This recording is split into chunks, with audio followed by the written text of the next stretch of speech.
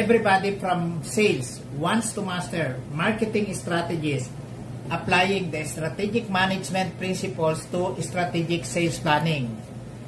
And that sales planning includes having a portfolio of ideas, processes, and technology that guides a sales organization and provides the resources and tactics for reaching sales goals.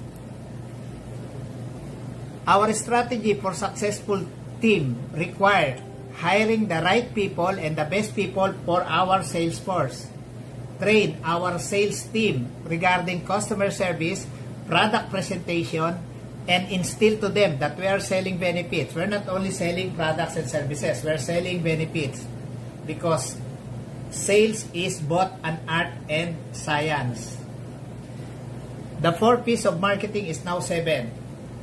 The seven P's of marketing are product, price, place, promotions, people, process, and physical evidence of commitment. We have to set a SMART goal for our sales plan.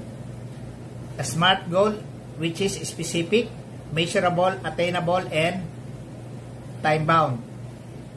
Setting achievable goals and try to include training as a part of our SMART strategic plan. Thank you very much and I, I hope this small glimpse will help you to make a breakthrough in sales. Thank you very much and please subscribe. Thank you.